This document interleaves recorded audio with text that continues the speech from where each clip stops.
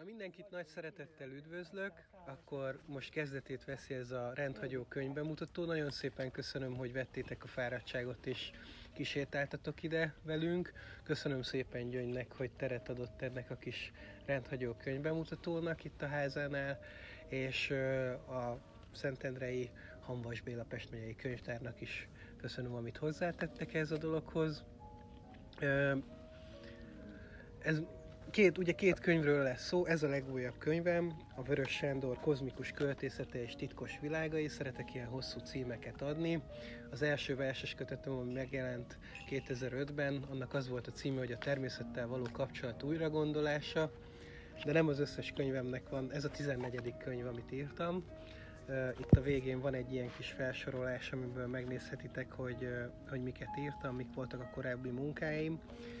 Ez a másik könyvem 2019-ben jelent meg először, ez már a harmadik kiadása, közben lett ilyen vastag, már a második is elég, elég vastag volt, köszi. És 32 eszé van benne, Hanvas Béláról és az ő életművéről. Ebben a kis kötetben mm, azt hiszem, hogy 7, meg, kell számolnom, 1, 2, 3, 4, 5, 6, 7, 8, 9, 9 írás van, Mondjuk az utolsó az egy vers, a 9. szóval 8 eszé van benne. A két könyv abszolút összefügg. Van egy eszé, ami mind a két kötetben megtalálható, ez Hanvas Béla és Vörös Sándor barátságáról szól. Erről nagyon sokat beszéltem már, ők ugye mester-tanítvány kapcsolatban voltak, hambas volt a mester, vörös volt a tanítvány, a teljesség felé kis kötetét mindenki már megkapta szülinapra, vagy karácsonyra, vagy névnapra, vagy ilyesmi, vagy ajándékozta, és amikor azt kinyitjátok, ott látjátok az elején, hogy hogy mesteremnek, Hanvas Bélának, aki harmóniát teremtett bennem, ilyesmit ír Vörös Sándor, és a Hanvas könyvvel akkor kezdtem el komolyan foglalkozni, vagy ezt, ezeket az eszéket komolyan megírni, amikor ide költöztünk Szentendrére a Kadacsúcsra, ami pont ugye a túlvégén van Szentendrének, és és akkor úgy gondoltam, hogy valahogy így a helyhez, ahogy kapcsolódom, ahogy az otthonunkat itt megteremtjük virággal, úgy egy, egy olyan író szellemiségével is érdemes szorosabb ban, mint filológus, ugye én úgy végeztem a Szegedi Tudományegyetemen, mint filológus, kapcsolódnom, aki itt élt egy ideig Szentendrén. És már egyébként az egyetemen volt egy olvasókörünk, ahol hanvas szövegeket olvastunk, meg, meg írtam ezt azt róla, de, de itt Szentendrén vált ez ennyire véresen komolyá.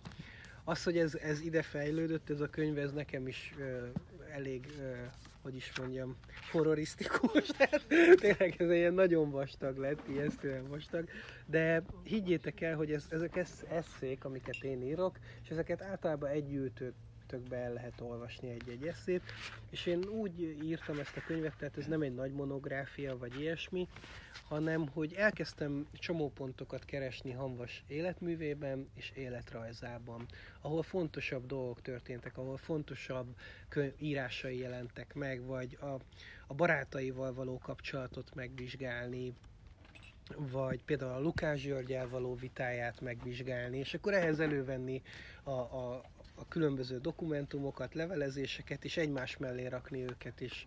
És nagyon érdekes dolgok terült, derültek ki, nem csak Hamvasról, hanem, hanem szerintem a 20. századi magyar történelemről is. Ezért uh, is ajánlom a figyelmetekbe ezt a kis könyvemet. És uh, a harmadik kiadás annyiban különbözik a korábbi könyvektől, hogy van benne hat új eszé.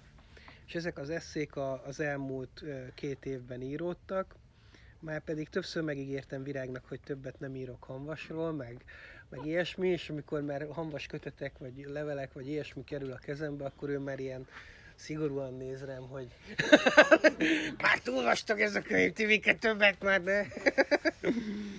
és, de hát olyan dolgok voltak, például szó van ebbe, az, az új eszék között szó van Várkonyi Nándorral való barátságáról. Várkonyi Nándor egy nagyon fontos szerző volt szintén, simán megérdemelne egy ilyen kötetet, egy pécsi könyvtáras volt, és siket volt, és ezért ilyen kis beszélgető cédulái voltak, és ezek fennmaradtak, ezek a beszélgető cédulák.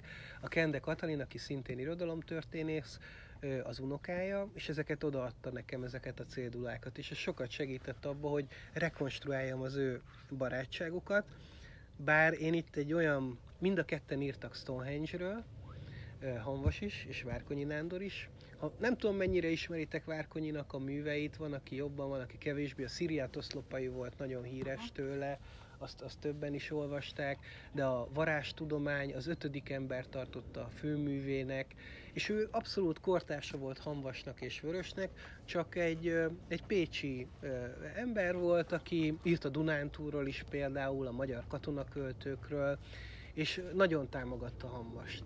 Többször meghívta előadni a Sorsunk nevű pécsi folyóiratba publikált tanulmányait, és, és amikor a második világháború után a kommunista hatalomátvétel az így realizálódott, akkor a, a Várkonyi az, az azonnal levette, hogy mi történik. A Hanvas az nagyon bekeményedett, ugye hát kirúgták a könyvtárosi állásából, 25 évig volt könyvtáros addig, a fővárosi, lehet, hogy 24 évig, most mindegy, a fővárosi könyvtárban, most már Szabó Ervin könyvtárban, és ide kijött ebbe a házba, e, ebbe a kertbe, itt kiváltotta a földműves igazolványt, nagy gyümölcsös volt, itt nagy kert, és árult a Szentendrén a piacon, illetve a, a Szentendrei régi művésztelepen akkor is voltak kiállítások, és a kiállítás megnyitókra vitt be almákat, meg, meg gyümölcsöket, és, és szintén árulta a gyümölcseit. Ezt egyébként három évig csinálta, és jó barátai lettek itt a, a Bubánom,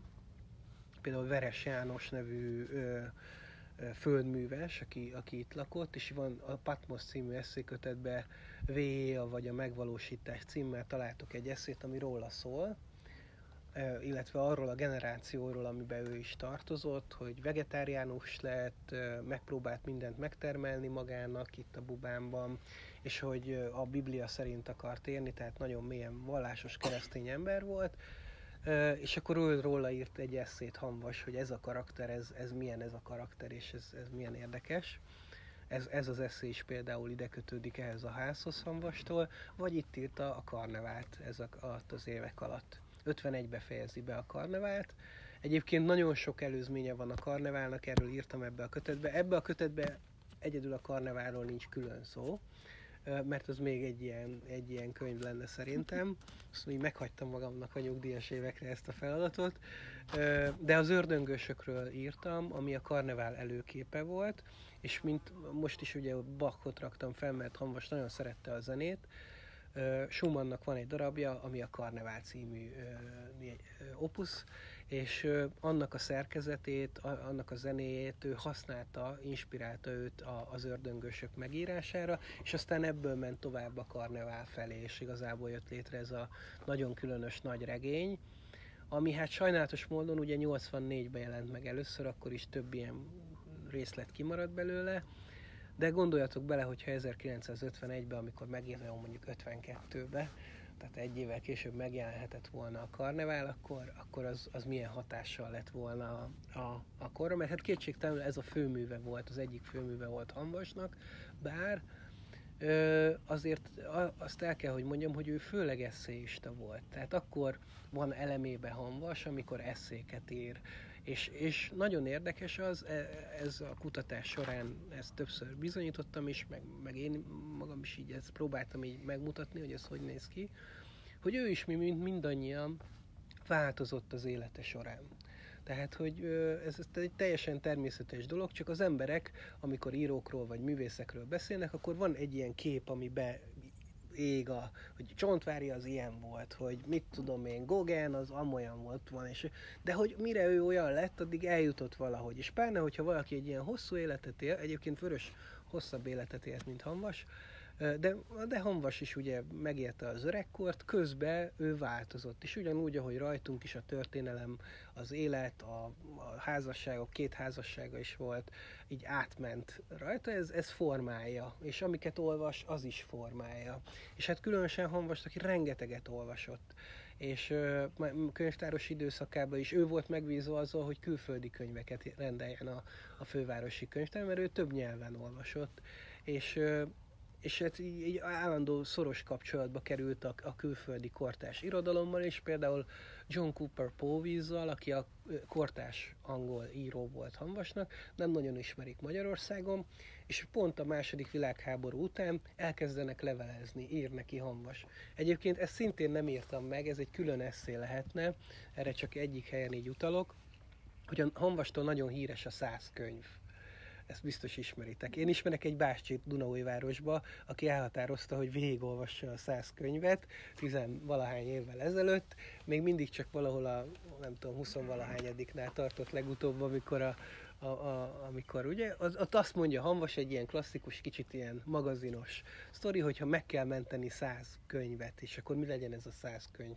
És ez egy nagyon népszerű írása volt Hanvasnak, megjelent azokban a kis európai füzetekbe, de ezt valójában John Cooper Povisztól nyúlta ezt az ötletet, mert Poviz volt az, aki a 30-as években írt egy ilyen száz könyvet, és ők leveleztek egymástól, küldözgették egymásnak az írásaikat, és Poviz küldött egyet a száz könyvből Hamasnak, és ez nagyon tetszett neki ez az ötlet, úgyhogy egyáltalán nem említi benne az elején Póvízt, de felveszi a száz könyv közé, hogy Póvíznak a műveit is meg kéne menteni, hogyha száz, és ugye ott nem csak könyveket, igazából szerzőket javasol ebben a, ebben a saját kánonban, amit ott felépít.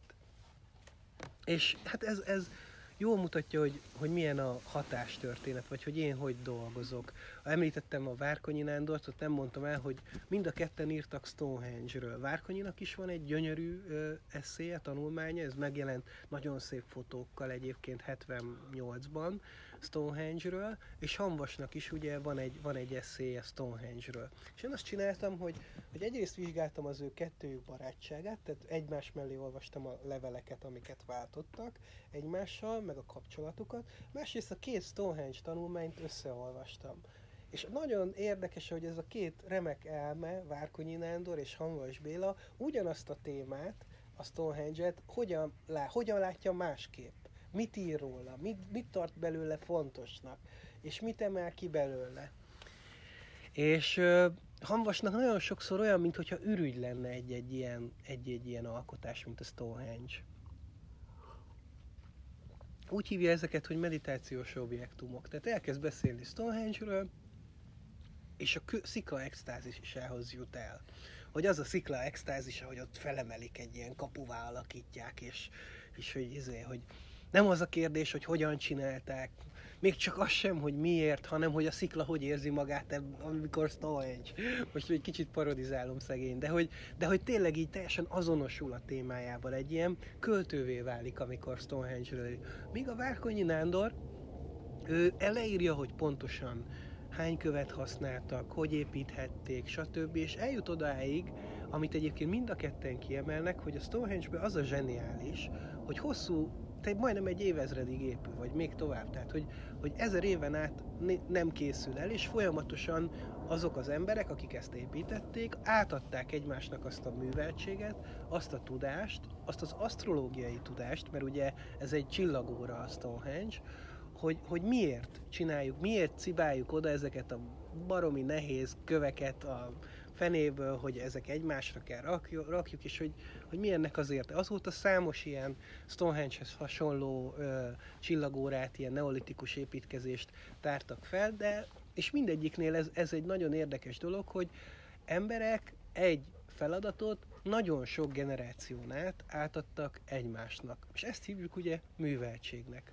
kultúrának, tudománynak, tudásnak, és hogy nem olyan egyértelmű, hogy ez a műveltség, ez fennmarad egyébként. Hát látjuk, hogy a sötét középkorban hogy tűnik el az ókori műveltség, hogy milyen nagy műveltség volt az ókori Hellászban például, vagy, vagy Rómában, nem tudom, és hogy miket tudtak építeni, meg milyen fantasztikus dolgok voltak a kezükben, és aztán egyszer csak ez eltűnik. És meg kell várni, míg a reneszánsz elkezdi előhozni újra ezeket a szövegeket. Nagy részt ugye a, a, a, a keleti közvetítés révén kerülnek újra, és rengeteg szöveg eltűnik, rengeteg írás. És a hamvasék a Kerényivel például, a Kerényi Károlyjal foglalkoztak a szigetkörbe a, a görögséggel, az ókori görög műveltséggel. És az is érdekes, hogy hogy, hogyha összehasonlítjuk, ezt is megcsináltam, megtaláljátok ebbe a könyvbe ezt az eszét. A Kerényi Károly, aki ugye egy Lali, aki, aki egy, egy, egy klasszika filológus volt, úgy foglalkozott a görögség, és a Hanvas írásait. A, van, van egy írás a Hanvasnak, ami csak pár éve jelent meg, az Állarc és Koszorú. Erre válaszolt Kerényi Koszorú és Állarc címmel. És, és nagyon érdekes azt a két szöveget is egymáshoz olvasni, hogy ők hogy látták ezeket a dolgokat, vagy, vagy mit szerettek volna az ókori görögségtől. Míg a Kerényi a görög mitológiát azt igazából önmaga, önmagáért valóban értelmezte, és, és nem ment annyira, nyilván inspirálta és hatott rá Nietzsche mind a kettőjükre, de, de nem ment annyira messze. Tehát nem gondolta azt, hogy az ókori görög mitológiában megtaláljuk az élet nagy kérdéseire a választ, hanem azt, hogy egy hogy koherens világmagyarázatot látunk, és egy csomó mindent megtanulhatunk belőle. Míg mondjuk a hanvas, ő sokkal tovább ment, ő mindig a nagy kérdésekre keresi a válaszokat. És mind, amikor a görögökről beszél, ugyanúgy, mint a Stonehenge-nél, a, ez a Hexaminion című eszély, amiről most utalok, ott, ott is akkor nem egyszerűen csak a görögökről beszél, hanem az, hogy az most itt nekünk Magyarországon, az miért fontos, miért jó, miért kéne tudnunk róla. És hát egy ilyen végzetes pasas volt, ez egészen biztos, és nagyon szigorú volt. Míg a, a Kerényi ö, ö, teljesen jó volt ezzel, hogy a kis szigetkört létrehozták, ilyen előadásokat tarthattak, és sikerük volt. A Hamvas egyre jobban nyomta azt a gombot, hogy már pedig itt közeledik a világégés, amiben ugye igaza lett, tehát tényleg második világháború lett, és, és itt ö, a magyar szellemi életet fel kell rázni, fel kell készíteni az apokalipszisre, a világ végére, és, ö, és olyan emberekre van szükség, akik műveltek, akik ö, éberek, és itt a szellemi és lelki ébersét, hogy nem lehet elválasztani a, a, az élet etikai oldalát, a, tehát nem nincs olyan, hogy valaki egyszerre szarember és nagyművész, ezt így szoktam megfogalmazni, és ez, ez azért komoly vitákat váltott ki, mert nem egészen így gondolták sokan. És a Kerényi azt mondta, hogy jó, jó, jó, összevesztek természetesen, szétesett a szigetkör, Kerényi elhagyta Magyarországot, Svájcba ment, ahol Junggal kezdett el közösen dolgozni, és a Kerényi mitológia elméleteiből Jung kidolgozta ezt a arhetipikus vagy arhetipusokról szóló elméleteit, és írtak együtt könyvet is. Hanvas viszont nem ment el akkor sem, meg később sem Magyarországról. Nála ez, ez komoly koncepció volt, hogy mi ide születtünk, nekünk itt kell maradni, és hát a legnagyobb utazásai azok az Adriai tengerre mennek. Elég sokat utazott az Adriára, és er, erről is külön írtam, hogy meglátogattuk a korcsolai fügefát, meg mit tudom én, ezeket így megtaláljátok ebbe. Ezek voltak a legjobb. Szintén nincs benne ebbe a kötetbe, ugye volt tavasszal egy, nem még februárban egy kis kiállításom itt a, a könyvtárba, hogy végigfotóztam a Sibeniki katedrálisnak azokat a kis fejeit, amik a katedrális hátoldalán vannak, mert arról írt a Hanvas a Babérliget könyvbe a, a Faragott fejek című eszéjét, vagy ilyen kis történetét, és ott készített egy fotót. És nagyon kevés fotó van, amiről egyértelműen tudjuk, hogy ő készítette, és erről tudjuk, hogy ez az ő fotója, és írt is róla, és akkor ott mint úgy próbáltam megközelíteni ezt a témámat is feldolgozni, nem mint író, hanem, hanem mint fény, mint, mint aki a fotóval dolgozik, és ott polaroidokat készítettem ebből. Miért? Miért ír az ember egy ilyen könyvet Hanvasról, vagy ennyi eszét, vagy aztán Vörös Sándorról, azért nyilván, mert ezek az emberek hatottak rám. És, és valahogy ezt a hatást sokféleképpen lehet erre válaszolni, lehet úgy is, hogy az ember nem vallja be, lehet úgy is, hogy, hogy megtagadja, az, az egyébként eléggé... Lali, nem menj messzire, majd figyelj rá. Figyelek, persze. És, és, és és ez egy, ezek, ezek ilyen módszerek, illetve én úgy éreztem, hogy 21. századi íróként egyszerűen nem tehetem meg, hogyha ennyire nagy hatásra volt rám, tényleg végigolvastam többször ezeket az életműveket, időrendbe raktam, egymáshoz olvastam őket, hogy, és abszolút inspiráltak a saját írásaimba, úgy gondoltam, hogy valamilyen tükröt kell tartanom, tehát valahogy ezt a hatást fel kell, fel kell dolgoznom. És erre, erre az írás, nekem az írás az eszközöm, Úgyhogy, és, és azt is éreztem, hogy valami nincs rendben. Tehát, hogy itt van a Hanvas körül egy olyan ügy, de Vörös Sándor körül is, hogy így ezek, ezek így nincsenek a helyükön ezek a dolgok. Én nem mondom, hogy ettől a helyükre kerülnek, de hogy én elkezdtem ezekről a problémásabb dolgokról is. Például a Lukáccsal való vitáját említettem, mindenki tud róla, de senki nem olvasta el, hogy mégis mit írt Lukács, és hogy mit válaszolt rá Hanvas. És végképp nem olvasták egymáshoz képest össze, és mi az állítás? Mi a két áll, mind a két oldalon, mi a két állítás? És egyszerűen annyi a kettő között a különbség, hogy a, a Lukács György az a politikán és a hatalmon keresztül egy ilyen materialista, ateista, marxista, kommunisztikus, izé, valami katyvaszt így elképzelt, és ahol az anyag a legfontosabb, és csak az anyag létezik, és az anyag szelleme a izé, míg a hanvas egyértelműen egy, egy ilyen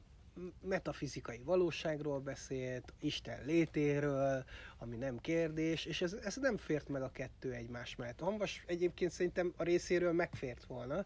Hanvas nekem is volt olyan eszköze, hogy a másikkal bármit kezdjem, és ő kereste is a Lukácsnak a, a, a társaságát, tehát ő bement, amikor őt kirúgták a könyvtárból, ő bement Lukácshoz, és próbálta felvenni vele a kapcsolatot, és elmondani, hogy ő miket tervez, és hogy ez miért nem általmas a kommunista pártra, meg ránézvés, meg így próbált elmondani, hogy az ősök nagy csarnoka az miért lenne jó, hogyha a magyar emberek ismernék, hogy mi a zen meditáció, a joga, a védák, a nem tudom, tehát hogy ott azért nagyon sok mindenről van szó, és ez egy hosszú munka volt, és akkor így a Lukács az azt mondta, azt így leterelte, hogy ez, ezek nem aktuálisak ezek a dolgok. Tehát, hogy ez majd néhány évtized múlva, meg hát egyértelműen felismerte, hogy, hogy, hogy Hanvas miért veszélyes számára. Tehát, hogy, hogy mi Hamas már akkor is sokkal népszerűbb volt, amíg, amíg, amíg megjelenhettek az írásai, meg amíg előadásokat tarthatott, azért ő, őt szerették igazából, tehát ezt, ezt elmondhatjuk. Az összes szigorúságával mindennel egy Lukácsot nem annyira. És ö, persze aztán lettek tanítványai, meg kapott egy csomó pénzt a pártól, hogy csinálja, akkor ott volt egy konfliktus a 56 környékén a párttal, ö, mindegy, az a, ez a Lukács filológia, meg a Lukács monográfiákban ezek le vannak írva ezek a dolgok. Az biztos, hogy a Lukácsnak lettek tanítványai, és az, a magyar egyetemi életre és oktatásra ezek a tanítványok hatása voltak, hiszen professzorok lettek, tanítottak egyetemen. Hanvasnak a tanítványai, és erről Farkas Attila Márton és Mund Katalin ír egy, egy nagy tanulmányt, amiből idéztem, az, teljesen máshonnan jöttek és itt, itt térünk rá arra a dologra, amiben ez a könyv különbözik az előzőtől, hogy itt már foglalkoztam, a, az, mi úgy hívjuk filológusok, hogy a recepcióval. Tehát nem csak Hanvassal, nem 68-ba ér véget a, a történet, amikor Hanvas meghal, hanem ami utána is történik. És itt próbáltam a Szentendrei könyvtárban a Hanvas Béla Fakanala címmel egy egyébként humorosnak szánt előadást megtartani, ami arról szól, hogy mit teszünk a Hanvas kultusz tárgyaival. Például mit teszünk egy ilyen házzal, mit teszünk, ha mondjuk fennmaradt egy fakanál Hanvas Bélától, akkor, akkor azzal most mit, mit csinálunk? Mit csinálunk a, az emlékekkel, a kulturális emlékezettel? És ez egy nem befejezett kérdés, erre mindenkinek meg kell találnia a választ. Sokféle dolgot kezdhetünk ezekkel a dolgokkal. Én, én próbáltam ezt a kimozdítani a hanvas lényét, meg ezt az egész, amit elképzelnek róla, a, a, abból, hogy, hogy ez megközelíthetetlen, megszólíthatatlan, túlságosan ilyen magasra tenni ezt a dolgot. Tehát, hogy, hogy igenis lehet róla beszélni, és igenis meg lehet nézni, és igenis lehet vitatkozni is hamvas írásaival is, ahogy az enyémekkel is. Vagy, tehát, hogy ez tök normális. Így működik a kultúra, így működik az irodalom. Ez egy folyamatos párbeszéd, egy nagy párbeszéd, egy nagy vita, ami, ami már nagyon régen elkezdő. Onnantól kezdve, hogy, hogy Platon leírta a kis dialógusait, és megrajzolja az nekünk Szokratészt, és ott vitatkoznak vele, onnantól kezdve ez, ez az európai kultúra, ez így működik. Folyamatosan vitatkozunk. És Platon is létrehozta a maga Szokratészet, ami nem biztos, hogy az igazi Szokratész volt, hiszen Szokratésztől egyetlen egy írás sem maradt fenn, és én nem vagyok egy Platon, de én is létrehoztam a, a, a magam bizonyos értelemben hamvas olvasatát, ami, amivel lehet vitatkozni. Én azért elég sok, amikor nagyon kemény dolgokat mondok, akkor én azokat alátámasztottam. Tehát ott, ott vannak az idézetek, ott vannak a sztorik, tehát azt én meg tudom védeni magamat.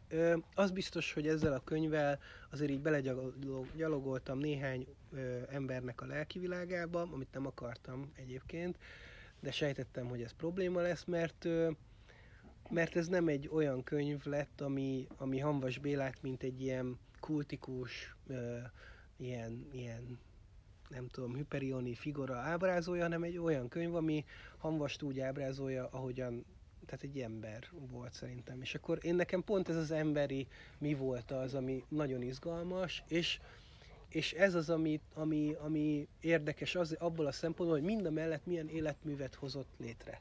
Tehát, hogy, hogy ugyanolyan esendő, ugyanolyan problémái voltak, vagy még komolyabbak, mint nekünk, mert mégiscsak két világháborút végét, mi azért még valamely, még egy éve azt mondtam, hogy reménykedhetünk abba, hogy megúszuk ezt a világháború dolgot, de most már nem merem ezt mondani.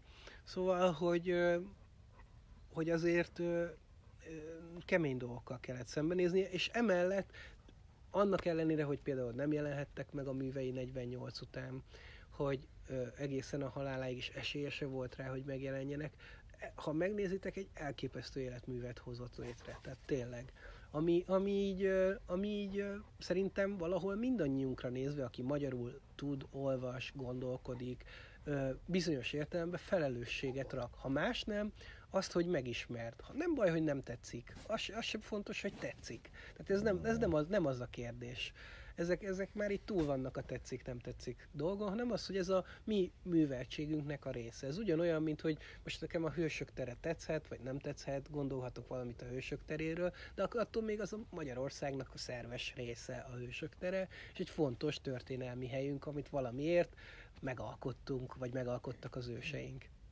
És ez a, ez a, ez a kulturális diszkuszió, ez, ez, ez a folyamatos párbeszéd az, ami, amit például a Várkonyi a Stonehenge-nél kiemel, hogy, hogy ez fent tud maradni. És ez az, ami egy műveltséget ö, életben tud tartani. És ami egyébként meg tud védeni a teljes elbutulástól és elhűléstől is, aminek ö, azért így, ö, legalábbis én, lehet, hogy ti nem, de ilyen folyamatos jeleit lehet látni itt-ott a világban, néha elvétve, nem tudom, tehát, hogy így, és ez már régi, régi probléma, tehát, hogy mert ha ez nem így lenne, akkor nem, nem itt tartanánk egy csomó mindenben.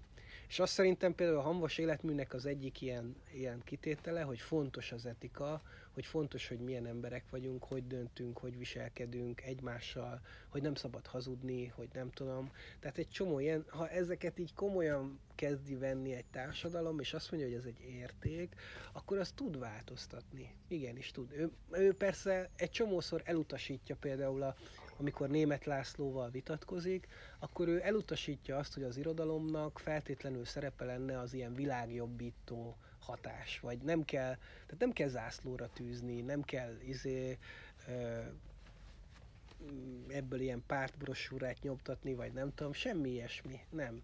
Ő igazából elkezd eljutni oda, hogy, hogy, hogy az egyéneken múlik egy csomó minden, az egyes embereken, ahogy viselkednek, ahogy a kis köreikbe elkezdenek normálisan viselkedni a saját családjukba, a saját kis életükbe, és ő, ő is ezt próbálta megvalósítani, több-kevesebb sikerrel, mert hát volt egy csomó, csomó konfliktusa. Úgyhogy nagyjából ennyit most így első körbe erről a könyvről. Még egy csomó mindent mondhatnék, hogy milyen új tanulmányok vannak benne. Írtam a, a legutolsó eszé, ami benne van, az a világválságról szól. Ezt a, ott a kettős pont színházban mondtam el, ezt az eszét ott leírtam, hogy a világválságra mi a megoldás. Nem mondom el, benne van az eszébe. Nincs megoldás rá, és hogy, hogy, ez nem, és ez, ez egy félrevezető dolog, amikor az emberek így, így a külső problémákat projektálják saját magukra, és elkezdik kint keresni a megoldásokat, és nem a saját uh, életükkel vagy alapján. Hoppá! Szia Dani! Szia! És igen, hát ennyit erről a könyvről, most ha majd, hogyha esetleg van kérdésetek, vagy bármi, akkor majd még visszatérhetünk. Röviden beszélek erről a másik könyvem, ez az új könyvem.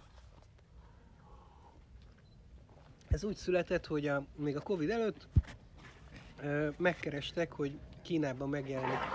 Nana, nem szabad. Kínában megjelent a teljesség felé, és felkértek, hogy írjak egy utolszót hozzá. És ez nagyon vicces feladat volt, mert elkezdtem a kínaiaknak magyarázni azt, hogy Vörös Sándor mit gondolt a Tao-ról. És ez, ez kínaiul és magyarul, tehát ez, ez egy kétnyelvű kiadvány lett Kínába. És rá tudtam beszélni a, a, a szerkesztőket, a kiadót, hogy vegyük a teljesség felé mellé az Én a határtalan szellem című versciklust. Ezt nem tudom, hogy ismerik-e. 2013-ban megjelent Vörös Sándortól az Elhagyott Versek című kötet. 400 oldalnyi vers, ami nem jelent meg 2013-ig. Ebben nagyon sok olyan vers van, meg Lali. költemény. Gyere Lali. onnan. Gyere, Gyere onnan el. Nem lejmolunk, gyere ide. Gyere ide. Gyere, gyere, gyere. Nagyon sok olyan írás van benne, amiket így nem, nem ismernek Vörösről. Például azt szoktuk mondani Vörös Sándorról, vagy azt mondták régen, hogy apolitikus költő volt, hogy nem foglalkozott a politikával. Ehhez képest egy csomó politikai vers van ebbe az elhagyott versekbe, például a Rapszódia kivívott szabadságról, egy 1956-ról szóló vers. A hazáról ír egy csomót, a zsarnokokról, a, a diktátorokról. Ö, szóval nagyon sok sztori, és többek között van ez a 49 versből álló versciklus, az Én a határtalan szellem, ami, amit egy időben írt a teljesség felével. És berakta a fiókba. És e- 2013-ig senki nem ismerte. És hogyha ezt odaolvassuk a, a teljesség felé mellé, ezeket a verseket, akkor nagyon meglepődünk. Azért akartam, hogy lefordítsák kínaira, mert úgy kezdődik, hogy szólok én Lao Tse. És az egész egy ilyen laocei szemszögből van megírva, és ilyen er- erős kinyilatkoztatásszerű versek, és amikor a teljesség felé megjelent, akkor Vörös elég kemény kritikákat kapott. Szentkuti Miklós például azt írta, hogy Vörös bekapta a hamvas féle ezoterikus legyet, meg, meg ilyenek. Tehát, hogy szétszették, a szakma az itt szétszette Vöröst, hogy mit akar, a vers nem elég neki, mik ezek az ilyen, ilyen ezoterikus bullshit, ez a teljesség felé, most ilyen izész, és ugye a szakma az így lesöpörte a teljesség felét, annak, annak ellenére, hogy most már nem tudom, hanyadik kiadásnál tart a teljesség felét.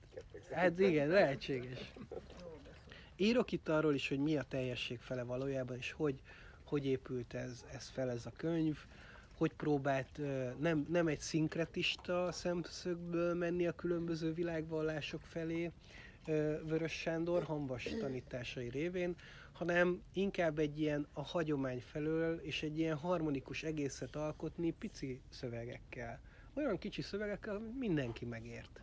Tehát, hogy, és a mögött nagyon nagy filozófia van, hogy ő ezt miért.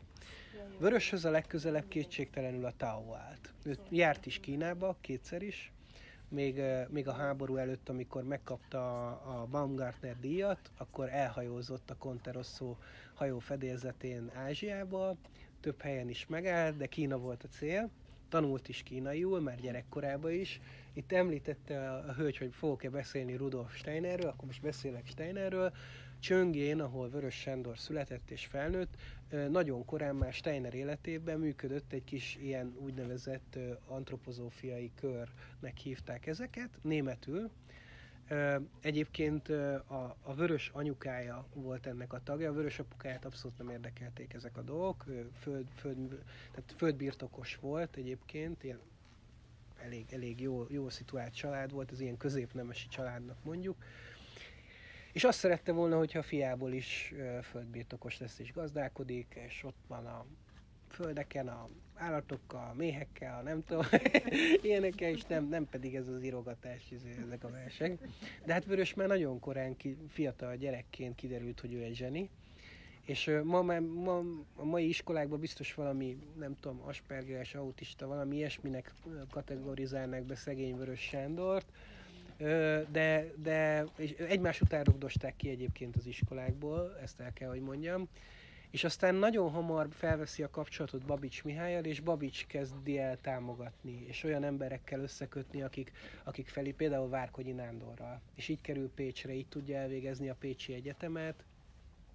És közben ő már publikál, jelennek meg a versei, mindenkinek úgy ír az nagy öregeknek, a Babicsnak, a Kosztolányinak, és Hanvasnak is így, így írja a levelet, hogy kedves mester, mindig így címezi meg Füst Milánnak is. Egyedül Hanvas vette komolyan ezt a megszólítást, a többiek azok úgy, úgy képbe voltak vörössel, és az is érdekes, hogy Vörös ilyen földrajzszakon kezdte az egyetemet, de esztétika fi, fi, filozófián végez, azt hiszem, és és hogy mindig rajzolgat térképeket, meg ilyen nyelveket talál ki, meg ilyen külön világokat, ilyen tiszta science fiction, amit csinál, egy időben Tolkiennal. Tehát ez, ezeket akkor csinálja, és nem lesz belőle semmi sajnos. Tehát ezek mind ott maradnak a hagyatékba, egyedül a makruk veszélyse jelenik meg, ami egy ilyen elképzelt világ pusztulása.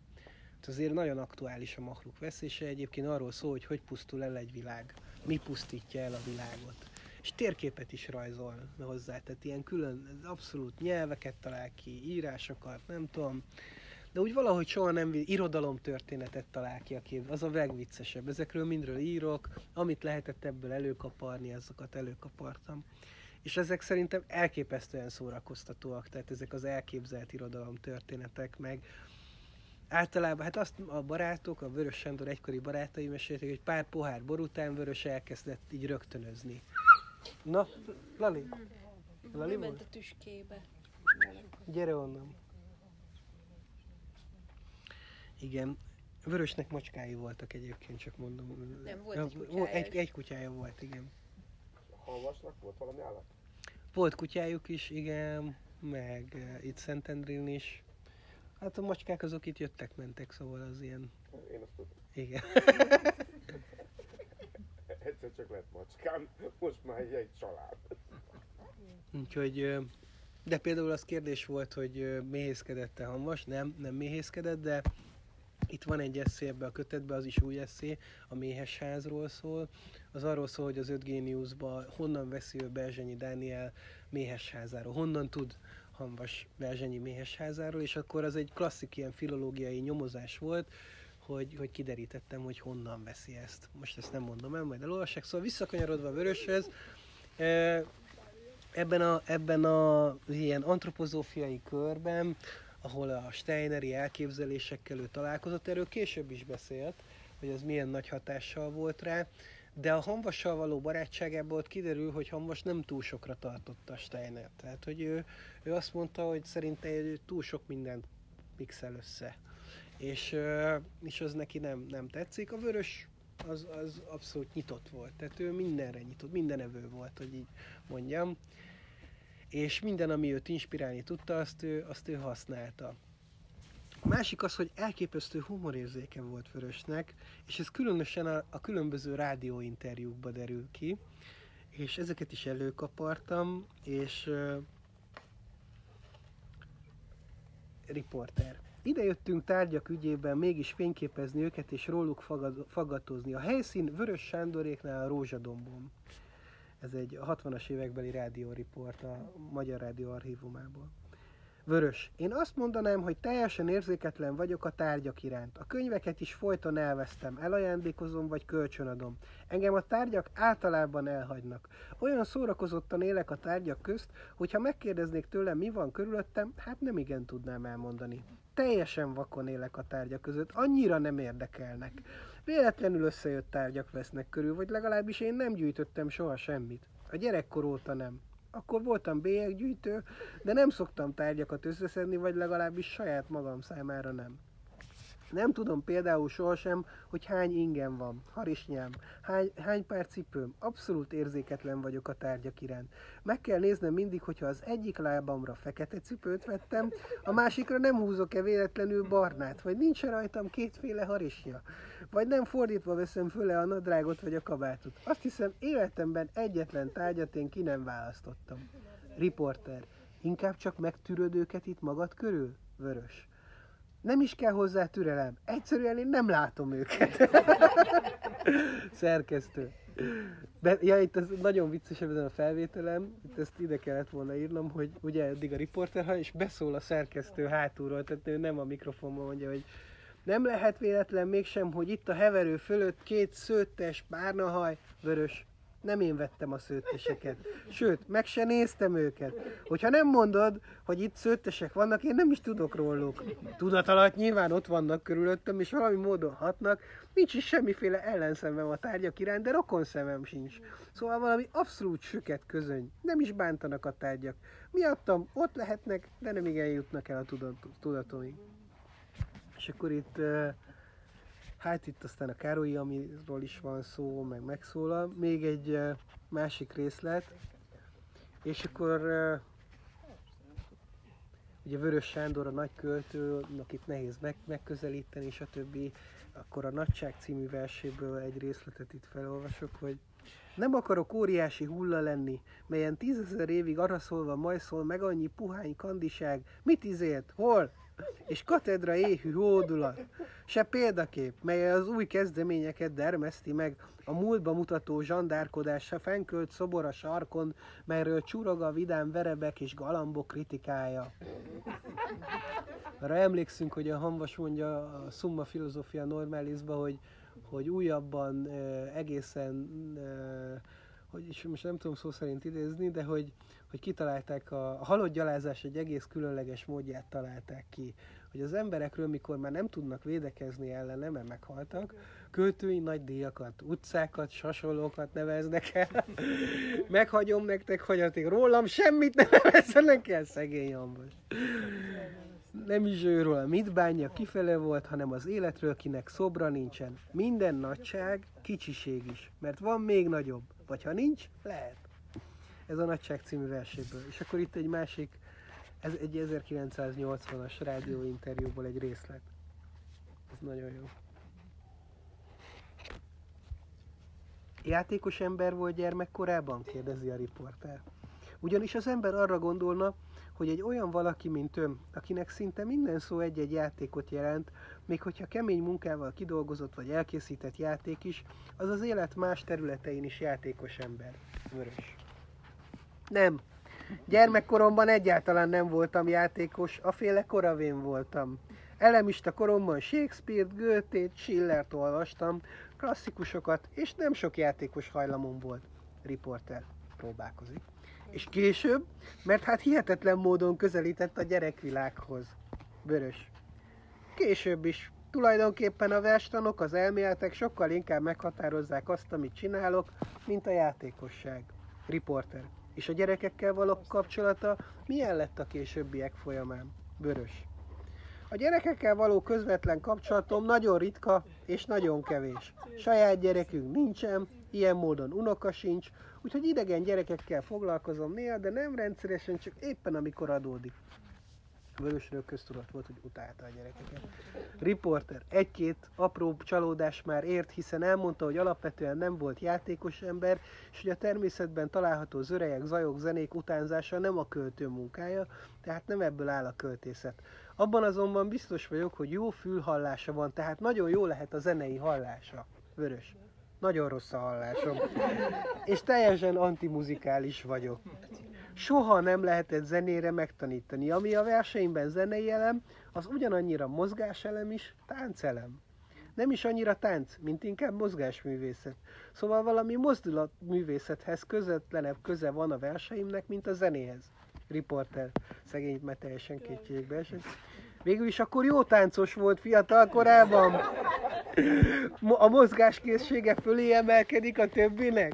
Vörös. Tánckészségem nem volt mozgáskészségem sem annyira ritmikus vonalom. Mondjuk rendkívül hajlékony voltam, és jó fára mászó. Szóval sok ilyen sztori van. És akkor a, még egy, itt van két részlet, amit nagyon szeretek Vöröstől, ezt így, ez a testamentum az egybegyűjtött prózai írásokban találják meg. Még síromban is azokkal tartok, akik nem tisztelik rám fogott vagy valódi rigójáimat, bátran túllépnek a bearanyozott hülyén olyan kezdemények és tetők felé, amilyenekről én nem is álmodhatok. És aztán hozzáteszi, figyelmeztetlek benneteket, hogy olyan írásművet hagyok rátok, mint az olaszokra Dante, az angolokra Shakespeare, ez nektek, csibéim, legalább 5000 év életet jelent, ha csak valamennyire is tudtok bánni vele. Ne hagyjátok füstbe szórodni, se mennybe szállni, legyetek kicsi reálisabbak és praktikusabbak. És hát akkor ezt, ezt próbáltam, hogy kicsit így reflektálni erre az ismeretlen Vörös Sándorra, és összegyűjteni, hogy mi, mi, mi az, amiben ezeknek a, az ismeretlen írásoknak a hatására megváltozik a vörösről alkotott képünk. Mi, miért, miért volt ő nem csak a bóbita vagy a psziché szerzője, nem csak a teljesség felé szerzője, hanem mindezek egybe. És csomó versidézet van benne, meg ilyen a jegyzeteiből. Ez egy jó dolog volt, mert ezt a Covid alatt írtam, megtartottam ezeket az előadásokat, és nagyon jó volt vörössel foglalkozni ez, ebben az időszakban. Ilyen gyógyító hatása volt, úgyhogy remélem ez ilyen kis gyógyító kötet lett. Az utolsó eszé, ami benne van, az a Vörös és az Isten, és arról szól, hogy mennyire ambivalens viszonya volt egyáltalán ezzel az egész Isten dologgal és képpel, és hogy ez, ez, ez, ez hogy jelent meg az ő költészetében, írásában, egyáltalán a verseiben, és aztán a legvége ennek a kötetnek egy ilyen utóirat, egy postscriptum, itt felolvasom, hogy visszatérő kérdés, hogy vajon miért választottam ezeket a témákat, Hanvas Béla és Vörös Sándor életét és művészetét, miért éppen ezekben a párokban, miért vizsgáltam ezeket a kapcsolatokat, jelen esetben éppen Vörös és az Isten viszonyát. Engedjék meg, hogy hagy válaszoljak erre egy rövid vallomással és egy saját verssel, amit már a Fasori Evangélikus templomban is fel akartam olvasni, mert uh, itt kiderül korábban a szövegben, hogy uh, volt egy, egy nagy meghívás az Árszakra Fesztiválon, ahol azt kérték tőlem, hogy Hanvas Béla és a kereszténység kapcsolatáról tartsak egy előadást. És ez az evangélikus fasori templomba. És akkor így mondtam, hogy de biztos, hogy ezt akarjátok. Azért a sziencia szakrát, hogyha elolvassátok, akkor ott kiderül, hogy Hanvas ez nagyon keményen belement ebbe a, a témába, és kritizálja az egyházat, Hát is azt mondja, hogy tulajdonképpen nem nagyon sikerült a kereszténység alapvető eszméit 2000 év alatt itt elsajátítani. Úgyhogy azt mondták, hogy jó, semmi gond, elmondhatom, mondom, jó, de akkor az nem egy élő szóbeli előadás lesz, mert most ugye élő szóban beszélek, és ilyenkor látjátok, hogy reflektálok önmagamra is, és becsúszik egy-egy olyan kifejezés, szó, ami mondjuk nem biztos, hogy akarnám a sajtóba így viszont látni. Ha nem, akkor ezt én ott fel fogom olvasni. És mert amikor így nagyon félek, akkor felolvasok. És egészségetekre. És tudtam, hogy ez egy támadható, egy érzékeny téma. És Hanvas is nagyon támadható, mert egy az egybe az egész klérust, az egész katolikus egyházat úgy, ahogy van lehúzza a WC-n. Tehát, hogy, és nagyon, nagyon szigorú, nagyon kemény, nagyon azt mondja, hogy a, az eredeti felebaráti szeretet tanítása, ami a Jézusi tanítás eszenciája, az így hogy lett kiszolgálója különböző politikai, nem tudom, állami, meg mindenféle ilyen hatalmi érdekeknek. És, és ugye ez a honvasi stílusba teszi, tehát ilyen nagyon keményen. És ezért, ezért, hogy ez ne legyen támadható, ezért azt ott felolvastam ez benne van ebben a könyvben. Majdnem kimaradt egyébként véletlenül, de, de Guido résem volt és berakta. Ezeket a könyveket Guido tördelte, szerkesztette. Sajnos erre a könyvre ebbe több hiba is benne maradt, azért elnézést, főleg ilyen elválasztás, mert ezt nagyon gyorsan le kellett adnunk, mert csak miközben csináltuk ezeket a könyveket, kétszeresére drágultak a papír, úgyhogy kölcsönt is kellett kérnem, hogy ezek megjelenhessenek, ezek a könyvek, úgyhogy ha lesznek a könyvekből, akkor az adósságaimból tudunk egy kicsit tapasztalni. Nem volt finom. Az, az, az jó. De, de, de te már vettél már, köszönöm. De, de olyan kedvet kaptam erre a másikra is, hogy igen. Kérek kölcsön valakit. Köszi. Na.Észel egyszer masszázsos meg. Na, szóval felolvasom ezt, itt ez a vége már a könyvbemutatónak, hogy igen, tehát fel akart Isten, ezt a verset fel akartam olvasni ott a Fasori Evangélikus templomba. Isten és a kereszténység hanvas és vörös, érzékeny, nehéz, de nagyon hálás témák, amelyek az embert önvizsgálatra, önismeretre és ezáltal világismeretre késztetik. Szerettem volna természetesen olvasóimat, hallgatóimat, sőt, hazámat és népemet inspirálni arra, hogy gondolkodjanak ezekről, olvassák újra vörös verseit, hamvas eszéit, nem baj, ha nem értenek egyet velem, mert nagyon fontosak, fontosnak és aktuálisnak tartom őket. De nem csak ezért. Talán ez az a pillanat, amikor Vörös és Isten viszonyáról van szó, amikor ez a legkönnyebben megérthető. A személyes vallomásom tehát az, hogy úgy látom a bennünk élő Istenkép sokszor sokkal inkább rólunk val, mint arról, hogy milyen valójában Isten. Még az az Istenkép is, amit tagadunk. Semmi sem van jobban egy ateistáról, mint hogy milyen Istenben nem hisz. Az én hitem igen szövevényes, de talán háromféle Isten él bennem, és ezek váltakoznak lelki állapotomtól függően. A legtisztább, amikor az állandó változásban lévő örök, egységes végtelenben ismerem fel. És ezek az ihlet pillanatai, ezek a csodás felismerések, a megvilágosodás felé tett igen aprócska lépések érzései. A kevésbé közérdekű talán, de annál gyakoribb, amikor Istent imáimban szólítom, helyeken, templomokban, természetben és magamban keresem. Ez igen gyakori. Végül pedig sajnos ismerem a lélek sötét éjszakáját, amikor elhagy a hitem, és minden üres és hideg és értelmetlen, és a hiány tapintom a mindenség helyett a szívemben. Istenes versemben ezt próbáltam megfogalmazni, kérem, ha tehetik, hallgassák meg, ezzel fogom most bezárni ezt a felolvasást, ez a kötet ezzel a versen zárul, ez így felépül, hogy, hogy hogy jön ez ide, és a vörös hatása ebbe hogy van jelen. Istenes vers. Ez egy jó hosszú vers, úgyhogy türelmet kérek hozzá. Hosszú hónapokig nem írtam verset, ami igazán jól esett, hiszen volt más elveszett eszék, töredék történetek, de sem az eszmélet, sem a regék nem segíthetnek a túlsó parton, csak a költészet. És még az is milyen kevés, ahhoz képest, hogy milyen ember vagy.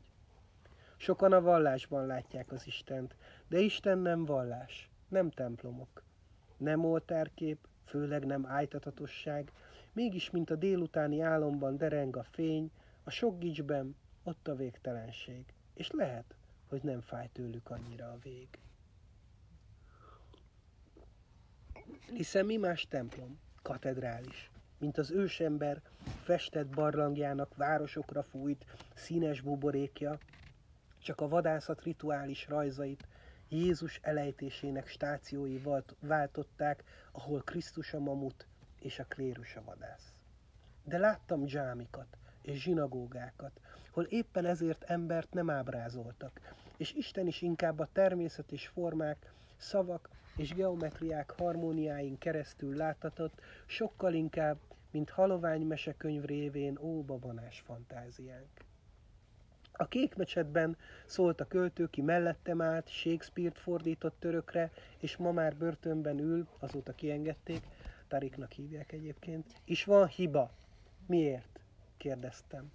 Azért, mert csak Allah tökéletes, mondta, és most nem tudom, hogy miért csukatták le inkább, kritikája, hitetlen hite, vagy a harmadik Rihárd miatt és láttam a földből kinőni millió minaretet Jáva szigetén, mint éneklő rakéták készen, hogy a hívőket a mennyekbe kilőjék. De mégis gyönyörködtem naplementekor a szultánság romjai felett, az Allahu Akbar énekem, megértve, hogy valóban hatalmas. Mégsem tudom, hogy szükség lenne arra, hogy mi dicsérjük az örök egyet, csak mert van. Sokkal inkább mi óhajtjuk az ő figyelmét. Rettegünk, végesként szemben a végtelennel. És nem látjuk, hogy mindenben mindenütt kezdettől fogva és a végsőkig jelen van ő. Hiszen azt szeretnénk, hogy ő vegyen észre, ő szóljon hozzánk, csak egyetlen jelet adjon és meggyógyul a szívünk. De ő nem egy jelet ad, hanem az egész teremtést, a teljes életet, a halált is beleértve. És mi nem látjuk a csodától az Istent. Félünk, elrejtjük magunkban őt, és nélküle magunkat sem találjuk meg. Mindenhogyan hívjuk, és neveket aggatunk rá, és minden szóval egyre kijebb toljuk a tudást, a felelősséget, az egyetlen valóságot, hogy alkotó részei vagyunk a teremtésnek. Lenyűgözve figyeltem a balinész hindukat, akik minden áldott reggel az Istenek üres trónjai elé alázattal és imával járultak. Hogy babona volt-e ez, vagy rend, vagy egy működő és mélységes kapcsolat? Számomra az mindig megfejthetetlen maradt. Az Isten üres trónja mégis oly hatással volt rám, mint a megfeszített Krisztus, vagy a végtelenben nyúló kalligráfiák. Úgy éreztem, hogy a hiányban jelenik meg, amikor minden vallásban a végső valóságot, a létben létezőt, a jelenlévő örök egyet ábrázolják, akkor elsősorban meg kell ragadniuk a hiányt, mintha ebbe a hiányba lenne benne leges leginkább, mintha mikor róla beszélünk, akkor mindenben mindenütt jelen lenne, csak éppen ott nincs, ahol szó van róla. Tékozló szerénységére jellemző lenne. De aztán megértettem, hogy éppen ebben a hiányban, pontosabban a nincsben van valóban.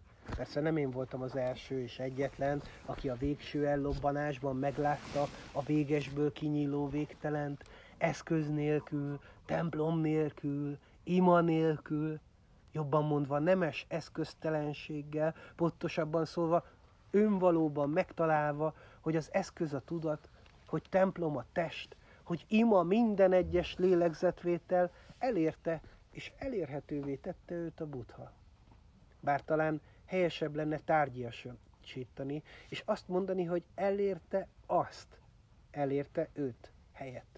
Csak hogy mégse véletlen, hogy Jézus atyának szólította az örök és végtelen, mindenben és mindenütt, élőben és élettelenben jelenlévő erőt. Így hozta közel, így mondta el, hogy ő és mi mindannyian egyetlen valóság vagyunk. Soha el nem váló, örökkön összetartó, hogy minden tettemmel vele teremtek tovább. És végül, hogy az Istennel való viszonyom intim, csak rám és a világ mindenségre tartozik. Na, hát köszönöm, hogy meghallgattatok. Ez volt a könyvbemutató itt. Ö, itt vagyok, élek, úgyhogy még alá tudom nektek írni, hogy ezeket a könyveket, hogyha vennétek. És hogyha bármi kérdés vagy hozzászólás van, akkor most így lehet ilyen kötetlen beszélgetés. Igen, az